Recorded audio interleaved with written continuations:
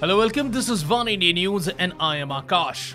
Following the 7th Pay Commission, the government has now increased the ceiling for gratuity amount for employees from 10 lakh rupees to 20 lakh rupees. The payment of gratuity amendment bill 2017 was introduced by Labour Minister Santosh Kumar Gangwar in the House amidst continuous sloganing by the opposition members and counter sloganing by those of the BJP.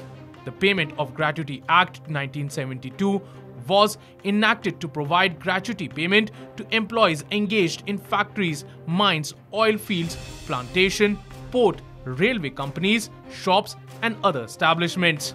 It is applicable to employees who have completed at least 5 years of continuous service in an establishment that has 10 or more persons.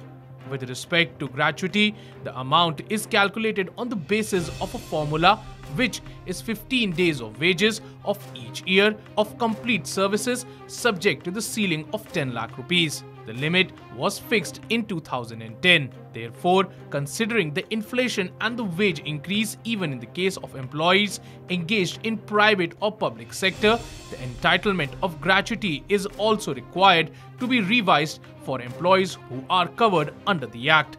The government has also introduced a bill in the Lok Sabha that will allow it to notify the period of maternity leave and gratuity that can be availed by employees under a central law. The proposal comes against the backdrop of the Maternity Benefit Amendment Act 2017, enhancing the maximum maternity leave period to 26 weeks. Well, that's all for now, but for more news and updates, log on to oneindia.com and please don't forget to like and share this video.